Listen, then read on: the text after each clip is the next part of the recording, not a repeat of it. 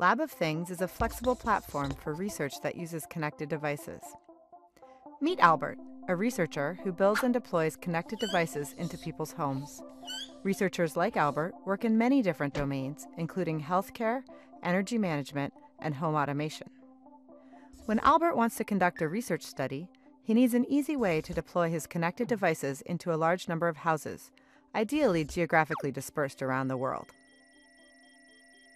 To simplify deploying sensors and devices into homes, Albert installs a Home Hub, a Windows computer running the Home OS software. The Home Hub supports discovery and setup of several different types of devices, including Z Wave devices, IP cameras, and custom devices built using Microsoft .NET Gadgeteer. Albert can extend HomeOS to work with other devices as needed by writing simple drivers.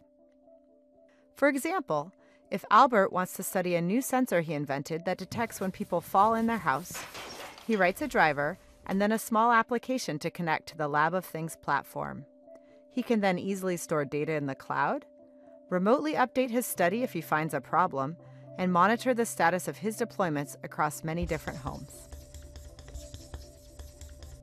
Marie is another scientist studying aging in place. Like Albert, she uses Lab of Things to deploy sensors in many homes that she can easily monitor. Marie realizes that she and Albert have recruited similar participants in different locations. Because they are both using Lab of Things, Albert can deploy his study into houses Marie has recruited, and Marie can deploy her study into some of Albert's houses. Lab of Things enables researchers to share data, code, and participants lowering the barrier to evaluating ideas in a diverse range of settings.